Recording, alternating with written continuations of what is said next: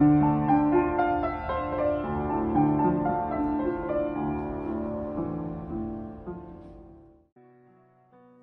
mừng các bạn đã quay trở lại với kênh audio review sách của tôi.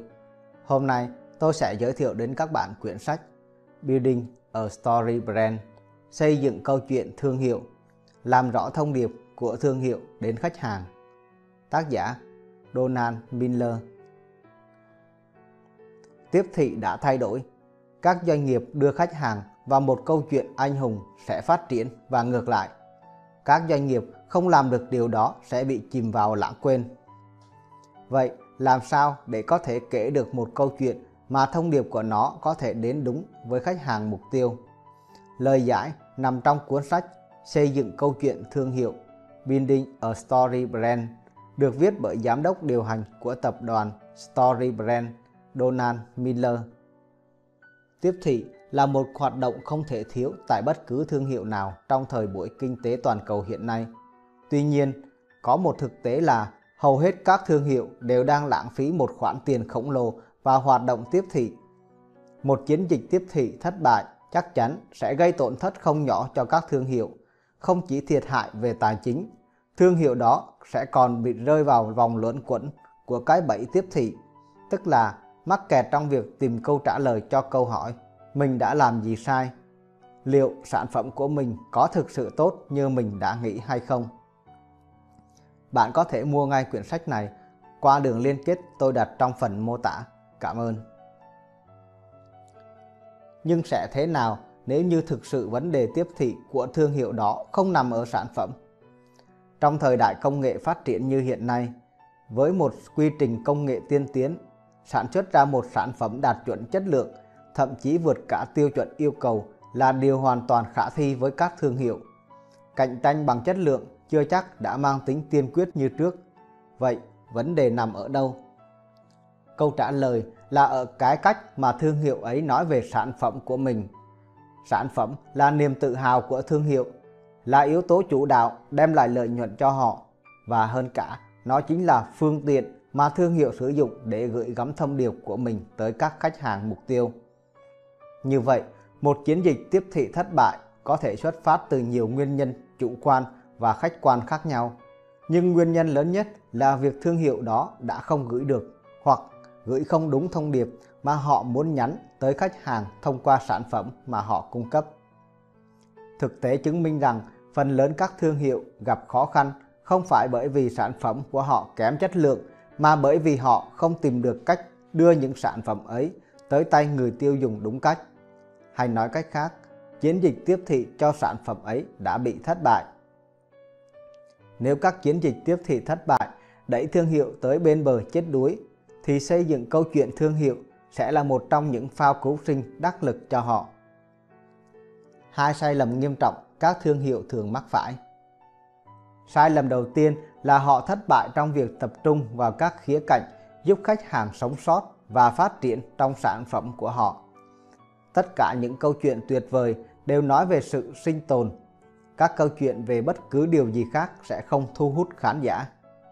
Điều này có nghĩa nếu bạn không định vị các sản phẩm và dịch vụ của mình như một cách thức trợ giúp con người tồn tại, phát đạt, được chấp nhận, tìm thấy tình yêu, định vị bản sắc, kết nối với một cộng đồng có thể bảo vệ họ cả về thể chất hay xã hội thì xin chúc bạn may mắn lần sau. Đây là những điều duy nhất mà mọi người quan tâm. Nguyên nhân sâu xa của sai lầm này xuất phát từ hoạt động tâm lý của loài người. Não bộ của con người liên tục phân loại thông tin. Vì thế, chúng ta loại bỏ hàng triệu dữ kiện không cần thiết mỗi ngày. Chúng ta chỉ tập trung vào một số ít dữ kiện thực sự cần thiết và những dữ kiện ấy có đặc điểm chung là đều gắn liền với sự sinh tồn, dù về mặt thể chất, tình cảm quan hệ hay tinh thần.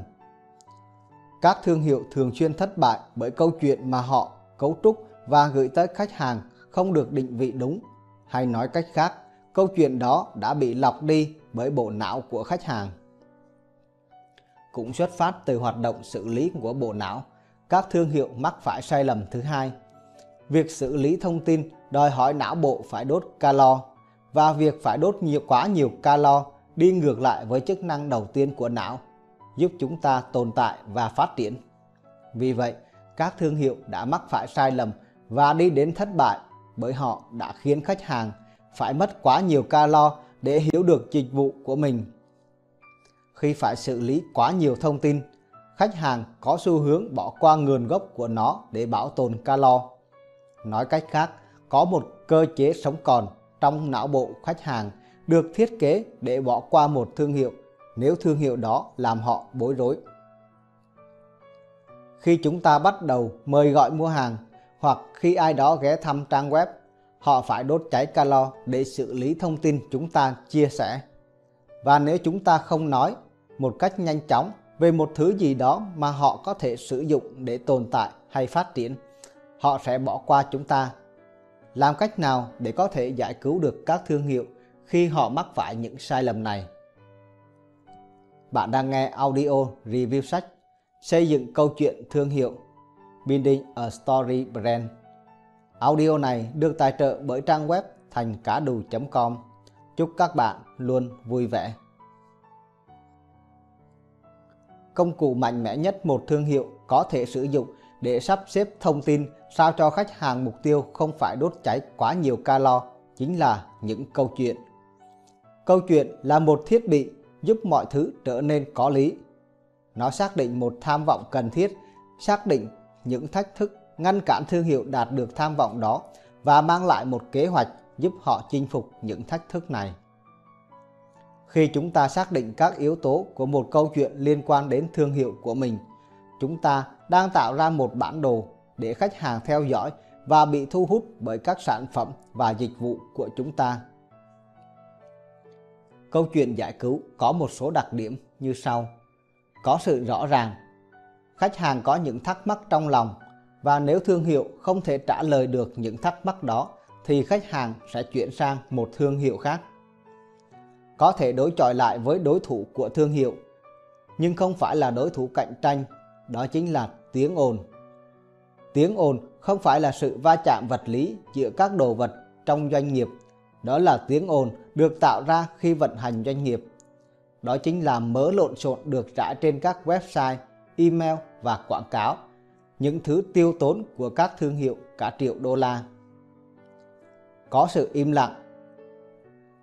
Nếu thương hiệu muốn kết nối với khách hàng thì một trong những việc quan trọng mà họ phải làm chính là ngừng xả vào khách hàng những tiếng ồn. Câu chuyện giải cứu không phải là một câu chuyện mang phong cách nghệ sĩ. Đó là một công thức cụ thể mà một thương hiệu có thể sử dụng để thu hút sự chú ý từ khách hàng vốn đang rất phân tâm. Đó là một câu chuyện về một sản phẩm nào đó được xây dựng thông qua một quy trình cụ thể nhằm đảm bảo khách hàng mục tiêu có thể nhìn thấy, nghe thấy và hiểu chính xác lý do vì sao họ đơn giản là phải sử dụng sản phẩm của thương hiệu đó khung câu chuyện thương hiệu chính là công thức được áp dụng. Con người kể câu chuyện của mình nhờ công thức này và tính hiệu quả của nó đã được kiểm chứng qua hàng ngàn năm. Bởi vậy, khung câu chuyện thương hiệu sẽ là đồng minh mạnh nhất để thu hút sự chú ý của khách hàng. Các công thức câu chuyện cho thấy một con đường mòn trong não bộ con người và nếu một thương hiệu muốn chiến thắng trong kinh doanh, họ cần phải định vị sản phẩm của mình theo đúng con đường này. Khi người kể chuyện lĩnh hội được công thức này, anh ấy có thể dự đoán hầu hết cách mà câu chuyện sẽ tiến triển. Câu hỏi được đặt ra ở đây là công thức đó như thế nào? Vũ khí bí mật để phát triển hoạt động kinh doanh Không ai có thể rời mắt một câu chuyện hay. Câu chuyện là vũ khí lớn nhất giúp chúng ta chống lại tiếng ồn, bởi nó tổ chức thông tin theo cách thôi thúc mọi người phải lắng nghe không có hai câu chuyện giống nhau, nhưng tất cả câu chuyện hay đều có chung một kịch bản. Một nhân vật, người muốn một cái gì đó gặp một vấn đề trước khi họ có thể đạt được điều đó. Vào thời điểm tuyệt vọng của họ, một người dẫn đường bước vào cuộc sống của họ, cho họ một kế hoạch và kêu gọi họ hành động. Hành động đó giúp họ tránh được thất bại và kết thúc bằng một thành công. Dạng thức của cấu trúc này xuất hiện hầu hết trong các bộ phim mà chúng ta xem từ trước tới nay. 7 điểm cơ bản kể trên như các hợp âm trong âm nhạc. Sử dụng chúng có thể giúp chúng ta kể ra vô vàn bản nhạc hay. Không phải mọi câu chuyện hay đều diễn ra theo cách này, nhưng hầu hết thì đều như vậy. Qua hàng ngàn năm, những người kể chuyện trên khắp thế giới đã chọn công thức này một cách làm tốt nhất. Nói một cách đơn giản, khung câu chuyện này chính là đỉnh cao của lối kể chuyện. Càng đi xa khỏi bảy yếu tố này thì câu chuyện càng khó thu hút khán giả. Bảy yếu tố trong câu chuyện vừa rồi đó là một nhân vật, một vấn đề, một người dẫn đường, một kế hoạch và kêu gọi họ hành động, thất bại và cuối cùng là thành công. Xây dựng câu chuyện thương hiệu Khi một thương hiệu đang cảm thấy bối rối với các chiến dịch truyền thông của mình, việc họ cần làm là tạo ra kịch bản câu chuyện thương hiệu. Kịch bản đó được xây dựng dựa trên 7 nguyên tắc tương ứng với nó là 7 điểm cơ bản của không câu chuyện thương hiệu. Nhân vật chính Nguyên tắc câu chuyện thương hiệu thứ nhất, khách hàng là người hùng chứ không phải là thương hiệu của bạn. Để xây dựng nhân vật chính cho câu chuyện của mình, thương hiệu cần phải biết rằng người hùng là khách hàng chứ không phải mình. Nhiều thương hiệu lầm tưởng rằng những gì họ nói ra chính là những gì khách hàng của họ muốn nghe. Nhưng thực tế không phải vậy. Bộ não của khách hàng không ngừng lọc thông tin và nếu thương hiệu muốn biết thứ mà khách hàng muốn nghe, họ phải đặt khách hàng vào trung tâm. Một câu chuyện sẽ không trở nên hấp dẫn cho đến khi người hùng cần phải tháo gỡ một quả bom, đánh bại ông trùng cuối hay đấu tranh để giành quyền sinh tồn. Một câu chuyện sẽ bắt đầu với việc người hùng mong muốn một điều gì đó và sau đó câu hỏi trở thành liệu người hùng có đạt được cái mà anh ta mong muốn không? Với một thương hiệu cũng vậy, việc quan trọng là họ cần phải định rõ một điều mà khách hàng mong muốn. Bởi vì ngay khi thương hiệu định rõ được điều mà khách hàng mong, họ đã đưa ra một câu hỏi trong đầu của khách hàng. Liệu thương hiệu này có thể thực sự giúp mình đạt được điều mình mong muốn hay không? Khi thương hiệu đã xác định được điều mà khách hàng muốn và truyền đạt nó một cách đơn giản, câu chuyện mà họ đang mời gọi khách hàng tham gia được định nghĩa và định hướng. Khi đó, khách hàng sẽ được mời gọi thay đổi câu chuyện của họ theo phương hướng của thương hiệu. Và nếu câu chuyện đó chỉ là một chỉ dẫn đáng tin cậy, chắc chắn khách hàng sẽ tham gia. Khi xem một bộ phim, khán giả sẽ chú ý tới một kẻ hở cốt truyện, bởi họ tự hỏi liệu cái kẻ hở ấy có đóng lại không và bằng cách nào. Câu chuyện thương hiệu cũng vậy. Việc xác định một ước mong tiềm năng của khách hàng mở ra một kẽ hở câu chuyện. Việc mở ra và đóng lại một kẽ hở trong câu chuyện chính là lực nam châm thúc đẩy phần lớn hành vi của con người. Nó là động lực thúc đẩy bộ não con người hướng tới một mong muốn. Sự khuấy động mở ra một kẽ hở và sự thỏa mãn mang lại kết kết thúc cho nó. Ví dụ, khát nước mở ra một kẽ hở trong câu chuyện và chai nước mang lại kết thúc cho nó. Có thể thấy, trong cuộc sống có rất ít hành động không sử dụng việc mở ra và đóng lại các kẽ hở trong các câu chuyện khác nhau. Bởi vậy, thương hiệu sẽ thất bại khi họ không định nghĩa được điều khách hàng mong muốn. Nếu không mở ra được một kẽ hở trong trí óc của khách hàng, khách hàng sẽ không cảm thấy bị thúc đẩy và phải kết nối với thương hiệu bởi không có mong muốn nào đòi hỏi được giải quyết. Vì vậy, việc đầu tiên của thương hiệu cần phải làm chính là định nghĩa một điều mà khách hàng mong muốn và lồng ghép nó vào chiến dịch tiếp thị. Ắt một kẽ hở trong câu chuyện sẽ được mở ra. Khá nhiều tổ chức mắc phải một sai lầm nghiêm trọng khi định nghĩa điều khách hàng mong muốn. Họ đã sai khi không cô động sự ham muốn của khách hàng thành một trọng điểm duy nhất cho đến khi định nghĩa được một ham muốn cụ thể. Doanh nghiệp không nên cho thêm quá nhiều kẽ hở mâu thuẫn trong kịch bản thương hiệu. Việc một sản phẩm, dịch vụ thỏa mãn được nhiều ham muốn có thể gây ra tác dụng phụ. Nó khiến câu chuyện trở nên lộn xộn bằng cách làm loãng mong muốn của người hùng với quá nhiều tham vọng. Bởi vậy, khi xây dựng kịch bản thương hiệu, doanh nghiệp cần tập trung vào một ham muốn đơn giản. Các ham muốn khác chỉ nên được xác định thêm trong kịch bản phụ, chứ không nên để nó trong kịch bản tổng thể. Bạn đang nghe audio review sách Xây dựng câu chuyện thương hiệu, Building a Story Brand. Audio này được tài trợ bởi trang web thành cá đù.com. Chúc các bạn luôn vui vẻ. Câu chuyện thương hiệu cần phải chọn một ham muốn thích hợp với sự sinh tồn của khách hàng. Hiểu theo nghĩa rộng, sinh tồn nghĩa là có đủ nguồn lực kinh tế và xã hội để được ăn uống, sinh sản và chống đỡ kẻ thù. Nguồn lực đó gồm tài chính, thời gian, các mạng lưới xã hội, địa vị, lẽ sống, vân vân. Định nghĩa điều khách hàng mong muốn và kết nối nó với tham vọng sinh tồn của họ sẽ mở ra một kẽ hở hấp dẫn trong câu chuyện. Doanh nghiệp cần phải giúp khách hàng trả lời được các câu hỏi cho câu chuyện của mình. Khách hàng cần phải trả lời được rằng thương hiệu đang đưa họ đi đâu, thương hiệu cung cấp cho họ cái gì. Nếu không thì chứng tỏ thương hiệu của doanh nghiệp đang bị rối loạn. Yếu tố tính rõ ràng đóng vai trò vô cùng quan trọng trong quá trình doanh nghiệp xây dựng hình ảnh nhân vật chính cho kịch bản thương hiệu của mình. Có một vấn đề. Nguyên tắc câu chuyện thương hiệu thứ hai. Các công ty thường bán những giải pháp cho các vấn đề bên ngoài, nhưng khách hàng mua các giải pháp cho những vấn đề nội tại. Khi đã đi sâu vào câu chuyện của khách hàng, doanh nghiệp có thể gia tăng sự chú ý của khách hàng bằng cách bắt đầu nói đến những vấn đề mà họ đang phải đối mặt. Khi thương hiệu xác định được những vấn đề của khách hàng, họ sẽ nhận ra thương hiệu của doanh nghiệp hiểu họ. Bởi vậy, khách hàng sẽ lắng nghe câu chuyện của thương hiệu. Vấn đề là phần câu khách của câu chuyện. Nếu không xác định được các vấn đề của khách hàng, câu chuyện sẽ trở nên vô tác dụng.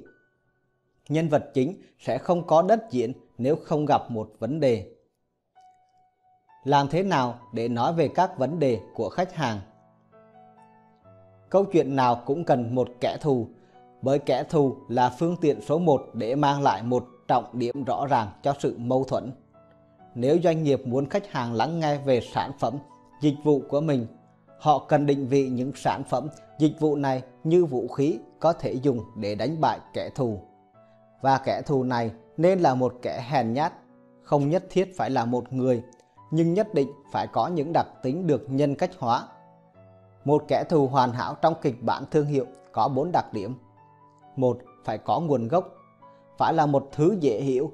Khi khách hàng nghe thấy, họ ngay lập tức nhận ra đó là một thứ gì đó khiến họ khinh thị. Phải là số đơn, quá nhiều kẻ thù trong câu chuyện sẽ phá vỡ sự rõ ràng. 3. Phải có thực.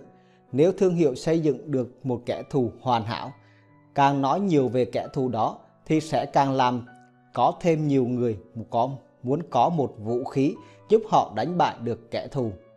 Đó chính là cơ hội cho sản phẩm, dịch vụ của doanh nghiệp.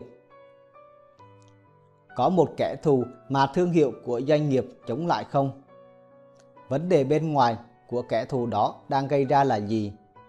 Vấn đề bên ngoài đó đang khiến khách hàng của doanh nghiệp cảm thấy thế nào? tại sao đó lại là một việc bất công khi mọi người phải chịu đựng kẻ thù này? Đây là bốn câu hỏi doanh nghiệp cần trả lời khi xây dựng kịch bản thương hiệu. Khi câu chuyện mà thương hiệu đang kể được trả lời, vị người hùng sẽ dần được hình thành. Khách hàng đang mong muốn một điều gì đó và đang gặp thử thách. Anh hùng có thể chiến thắng kẻ thù hay không? Có thể, nhưng họ sẽ phải tham gia vào thương hiệu của doanh nghiệp để tìm ra câu trả lời và gặp một người dẫn đường. Nguyên tắc câu chuyện thương hiệu thứ ba, khách hàng không tìm một người hùng khác, họ đang tìm một người dẫn đường. Nếu người hùng có thể tự giải quyết vấn đề của mình, đó sẽ là một câu chuyện dở.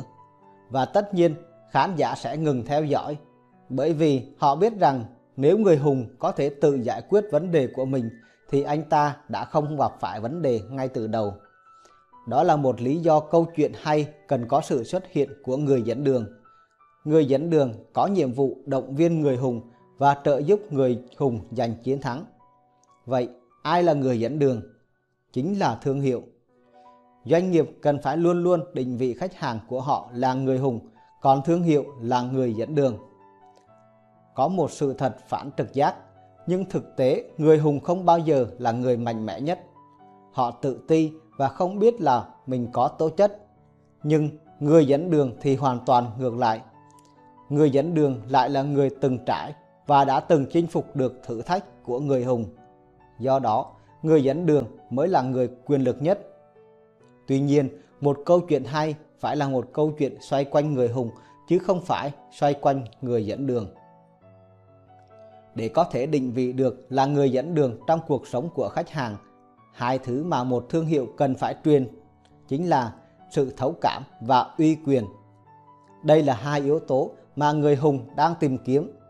Và khi khách hàng cảm nhận được điều đó, họ biết rằng mình đã tìm được người dẫn đường. Sự thấu cảm có tác dụng tạo ra sự tin cậy ở khách hàng.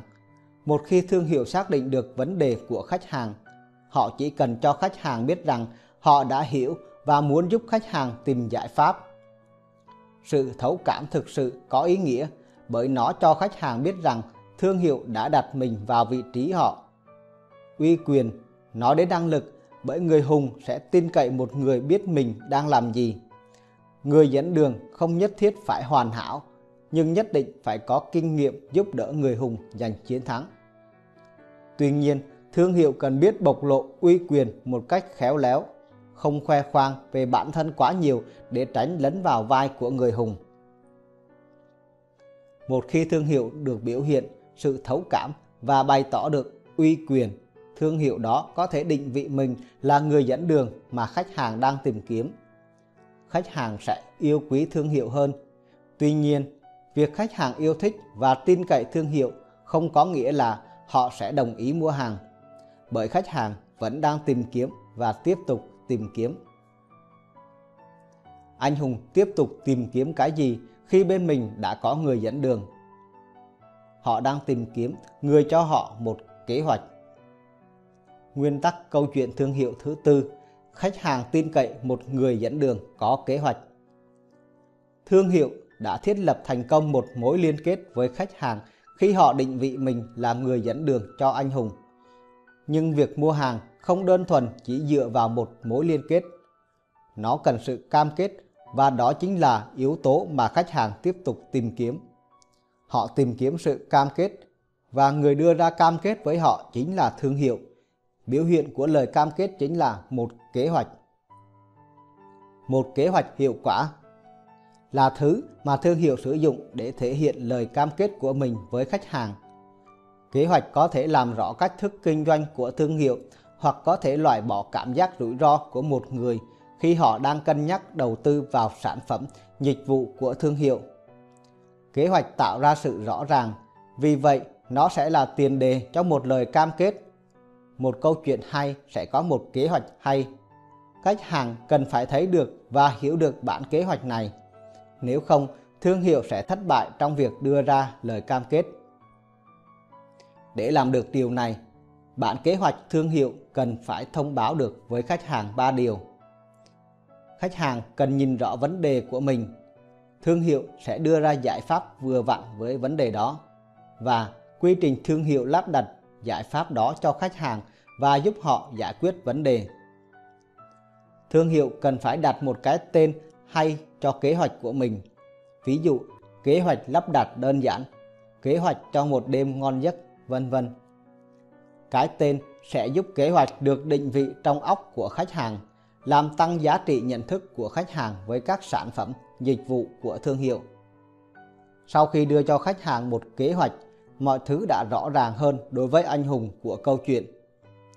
Nhưng vẫn chưa đủ, khách hàng vẫn đòi hỏi thêm từ thương hiệu trước khi đưa ra quyết định mua hàng của doanh nghiệp. Bạn đang nghe audio review sách Xây dựng câu chuyện thương hiệu Building a Story Brand Audio này được tài trợ bởi trang web thành cá đù.com. Chúc các bạn luôn vui vẻ. Kêu gọi hành động Nguyên tắc câu chuyện thương hiệu thứ năm: Khách hàng sẽ không hành động trừ khi họ bị thách thức phải hành động. Nói chung, con người sẽ không đưa ra quyết định quan trọng trong cuộc đời trừ khi có điều gì đó thách thức họ làm như vậy. Tuy nhiên, nếu lời kêu gọi hành động quá mềm mỏng, nó sẽ, nó sẽ bị bỏ qua bởi không có đủ khả năng gây chú ý. Thương hiệu cần một thứ gì đó đủ mạnh để có thể kêu gọi khách hàng đặt mua. Thương hiệu có thể kêu gọi khách hàng hành động bằng cách đưa ra một lời kêu gọi hành động trực tiếp. Nó cần phải được lặp đi lặp lại, cần phải có một nút nhấn trên trang web của thương hiệu và nó phải là một lời kêu gọi hành động trực tiếp.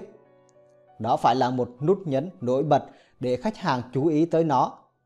Nút mua ngay bây giờ ở góc trên cùng bên phải trang web là một ví dụ điển hình mà chúng ta thường thấy tại các trang web mua sắm.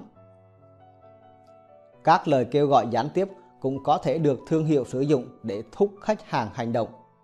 Khác với lời kêu gọi trực tiếp, lời kêu gọi gián tiếp có muôn hình vạn trạng. Một số hình thức phổ biến mà doanh nghiệp thường sử dụng khi gián tiếp kêu gọi khách hàng hành động mà chúng ta thường gặp đó là thông tin miễn phí. Hình thức phổ biến là một tờ tư liệu hoặc một file PDF miễn phí nêu rõ lĩnh vực chuyên môn của thương hiệu với khách hàng.